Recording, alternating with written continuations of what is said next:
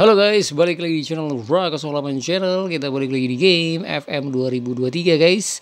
Uh, melawan uh, Uzbekistan kita Indonesia guys di FIFA World Cup Qualification Final Stage Grup A guys. Gimana kabar kalian? Mudah-mudahan sehat selalu ya guys ya. Dan kita di sini akan melawan Uzbek dan Syria guys. Selanjutnya kita lihat untuk uh, ini untuk top scorer ada Ezra lalu ada average ratingnya Luka asisnya Ilyas dan sebagainya guys. Most uh, man of the match juga tuh banyak Ivan Jenner Ezra dan juga uh, siapa tadi lupa. Nah ini Indonesia guys di peringkat satu Korea dua guys. Kita menang terus Uzbek uh, dua eh sorry Uzbek uh, tiga guys Irak Australia dan Syria guys. Ya ini untuk formasinya seperti biasa 4132 guys. Kita pakai formasi standar uh, di timnas. Dan kita bisa menang atau paling enggak seri di kandangnya Uzbek. Karena lumayan bahaya ini. Kita kemarin dicurangi ternyata ya guys ya. Aduh wasitnya memang uh, kurang profesional ya guys. Uh, cukup kecewa juga kemarin gue juga dengan kepemimpinan uh, wasitnya karena uh, berat sebelah guys. Kita kalau dilanggar dia nggak ngecek VAR tapi ketika kita melanggar langsung pakai VAR guys. Jadi sangat-sangat tidak adil ya. Tidak proporsional gitu loh tidak profesional juga guys. Biarnya kita bisa menang 1-0 bertahan ya. Ternyata dicek VAR padahal tipis banget itu cuman ya berapa mili lah itu e, kaki atau tangannya. Sebenarnya sih kalau kita lihat dari angle kamera yang lain kemungkinan nggak offside tuh guys. Jadi itu kayaknya dicari-cari aja tuh supaya kita nggak mencetak gol. Ya gitu deh e, wasitnya karena dari Cina dan juga Thailand ya guys ya kemarin ya untuk VAR-nya. Jadi ya gitu guys. Saya tahu gue sih Indonesia emang nggak boleh berkembang guys. Nggak boleh jadi nggak nggak mau ada yang maju guys. Sepertinya negara-negara Asia Tenggara apalagi Asia ya. Karena kita di apa dianggap bahaya guys kalau misalkan maju ya olahraganya sepak bolanya dari segi industrinya mungkin. Ya informasi dari Uzbekistan guys. Ada Sumrodov di depan guys. Dia 5 2 3 1 ya guys ya. Nah informasi kita guys ada Tom Haye, Huizing dan juga uh, Ivan Jenner di tengah guys dan depan masih uh, Marcelino Ferdinand dan juga uh, Ezra Walian guys. Jadi gue masih mengandalkan uh, striker yang lama ya guys. Oke, kita langsung ke pertandingan guys. Ini dia. Sandy Walsh gue pasang di kiri guys karena kemarin si Nathan Joaon juga cedera guys jadi belum fit. Jadi kanannya masih luka Evering. Kita kekurangan beberapa pemain belakang sebetulnya guys ya. Karena Jordi Amat udah lumayan 32 tahun guys. Jadi fisiknya juga harus uh, kita ada regenerasi guys gitu. Jadi ada Justin Hapner, Jay Izes, uh, Miss Hilger sayangnya nggak mau join guys di timnas. Udah berapa kali gue coba. Ya bahaya ini lemparan ke dalam. Oh bahaya sekali tadi. Shot dari pemain Uzbek. Ya sudah lima menit guys. Kita mentalitinya balance saja karena bahaya untuk pemain dari Uzbek ini guys. Mainnya di kebanyakan di Liga Rusia guys. Ya Liga satunya malah. Banyak ada di Eropa juga guys. Si Sumorodov juga kan. Itu mantan pemain uh, Roma ya. Di Itali. Jadi lumayan bahaya ini. Ya kemarin juga kelihatan kalah teknik dan juga fisik ya guys ya. Apa? Bodinya ya. Jadi kuat sekali ya kemarin kalian kalau yang nonton Indonesia Uzbekistan guys. Waduh udah dua kartu kuning guys.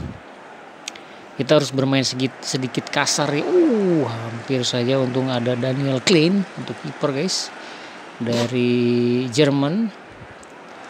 Keturunan Indonesia guys. Tapi udah kita rekrut ke Persija ya guys.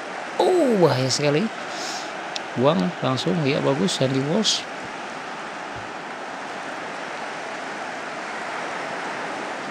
ya oh hampir saja tadi. Sundulannya juga bahaya sekali tinggi sekali ya guys ya. Semalam kita lihat main body bodinya kuat sekali ya si pemain dari Uzbek. Dan mudah-mudahan kita di pertandingan peringkat ketiga menang guys ya supaya lolos uh, Olimpiade di Prancis Paris Prancis di 2026 ya guys jadi mudah-mudahan kita masih ada jalan ya.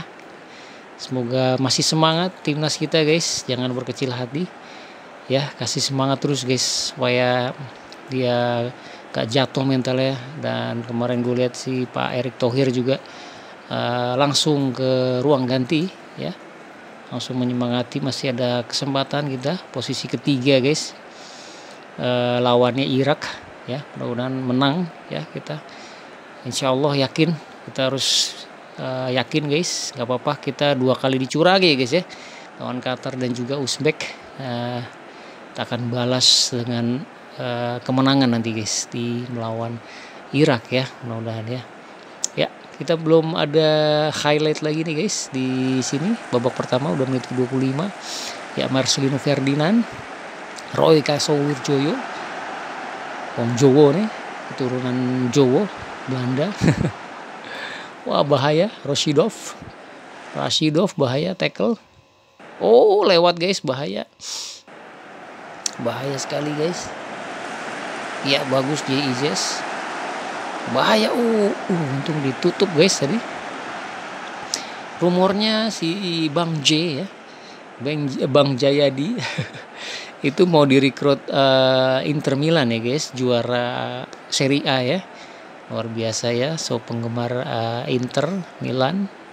Selamat congrats buat kalian. Ya uh, perjuangan yang sangat-sangat berat juga kemarin lawan Milan ya terakhir ya kalau nggak salah ya menang ya. Jadi ya selamat juga buat Pak Erick Thohir ya lu pemilik Inter Milan juga. Itu luar biasa dan mudah-mudahan bener ya guys ya isunya si Bang J, Bang Jayadi akan direkrut oleh Inter Milan. Ya kita demand more lagi guys supaya lebih menyerang lagi ini habis ini babak kedua mungkin gua akan mentalitinya akan gua naikkan jadi attacking kalau masih kosong-kosong ya. Ya masih kurang bagus sih guys striker kita nih malah belum menemukan striker yang benar-benar bagus ya guys Nah kemarin Rafael Struik juga golnya cantik banget ya guys. Itu kayaknya sih kalau gua sih nominasi pema apa uh, gol terbaik ya. Harus saya di AFC U23 kemarin ya. Harusnya ya. Jadi ya nggak apa-apa guys. Kita dicurangi tetap semangat aja. Dan itulah sepak bola. Makanya dulu kan FIFA itu kan uh, apa siapa yang dulu ketua FIFA-nya yang korup tuh guys. Nah itu ada permainan juga guys. Jadi kalian harus tahu dalam sepak bola tuh begitu guys. Makanya ada penyuapan lah apa segala macam untuk tuan rumah piala dunia atau apa gitu guys. Jadi ya apalagi wasit ya. Jadi gitulah. Jadi tetap semangat guys. Pasti ada jalannya nih untuk timnas ya Oke, Wizing masih bongkar-bongkar guys. Elkan Baggage, J.I.Z, Roy Kosowijoyo, Ivan Jenner ke Wizing. Iya cross. Oh, offside guys ternyata. Kayaknya enggak tuh guys. Oh, kenapa guys? Penalti. Aduh, iya gol guys. Di tepi sempet guys oleh kipernya. Si penaltinya si Ezra. Ini gue belum ganti nih harusnya Tom Haye ya. Sebagai uh, apa penendang penalti ya. Aduh gue belum ganti masih si Ezra. Bagus sih sebenarnya ya. Nggak apa-apa kita ganti aja karena dia apa uh, eh bagus sih sebenarnya ya nggak apa-apa deh. Kita ganti aja guys. Untuk uh, perendang penalti ya guys. Sorry guys. Gua agak-agak ini karena ngeklik ngeklik dulu. Mindahin mindahin dulu. Oke kita semangatin guys. Oh udah half time ternyata. Nggak terasa ya. Udah half time kita price saja guys. Karena berhasil mempertahankan uh, gawang dan juga mencetak gol dari penalti ya guys ya. Sebenarnya nggak penalti itu dimuntahkan terus dia uh, oh bahaya Sumurodov oh offside guys ternyata si Sumurodov ya masih bahaya nih guys. Ya Sandy Walsh ke Ezra lebar dia Wizing bagus nih Raymond Wizing pindah ke Persib guys nggak mau main di kita iya uh di blok sana pemain belakang dari uh, Uzbekistan guys ya abis ini kita masih main bertanding di FIFA World Cup uh, qualification untuk final stage-nya guys. Oh udah cedera ternyata si Sandy Walsh kita ganti aja Nathan Joe. Jadi di sini kita masih ada melawan Irak ya guys. Jadi mudah-mudahan kita bisa menang atau paling enggak uh, seri ya. Karena kita tiga pertandingan udah menang. Jadi yang penting kita bisa kualifikasi aja guys lolos. Untuk pertama kalinya tadi. Oh 2-0 guys untuk Korea melawan Australia. Wu Yang Jong. Menit ke-51 dia udah mencetak gol. Oh Karso Wijoyo suspend guys kena. Next match Oke masih terus nih guys Udah menit ke-6 Ini kita ganti aja sih Jordi Amat masuk menggantikan uh, Roy Karsowijoyo sebagai DM. Ya, Tom Haye langsung ke depan. Oh, sayang sekali guys. Ini masih bahaya sekali. Buang bagus. Natanjo. Aduh. Hamdanov, Hamdamov guys. Mencetak Hamdamov mencetak gol guys. Nggak penalti ya ternyata ya. Dari tengah dia langsung lepas guys si Luka Evering ma marking si Hamda Hamdamov guys. Kita encourage lagi guys pemain-pemain kita dan attacking ya untuk mentalitinya ya come on. Uh hampir saya tadi. Heading dari siapa tadi tuh? Ya kita masih terus.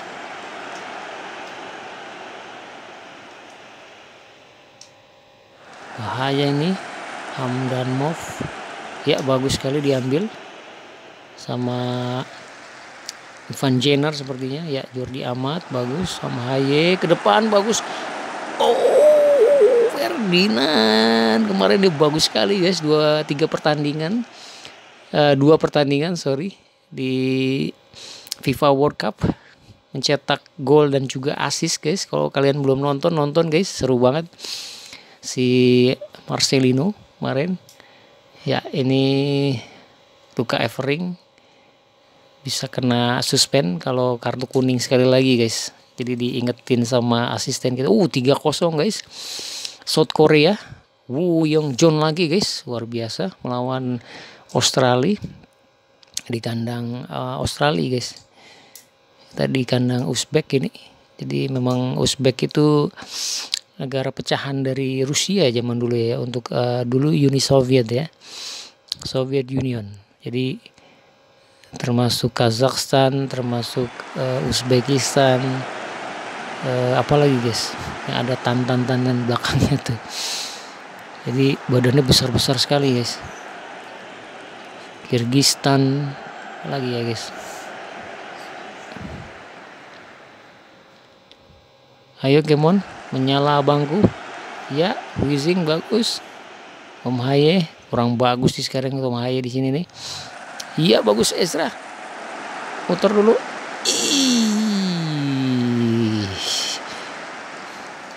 Di sini orang Mangun kena suspend ya guys ya. Kita ganti Ferdinand kurang bagus guys Marcelino.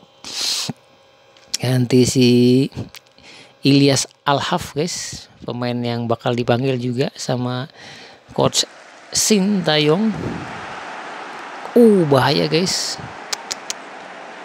Mudah-mudahan beneran dipanggil ya pemain-pemain ini ya. Si Luka Efring juga bagus, uh, Calvin Verdong juga rencananya mau di panggil juga untuk timnas senior ya guys ya. Ya Huizing bagus. Jordi Amat Ivan Jenner. Iya bagus. Ilyaf aduh kenapa nggak diumpan?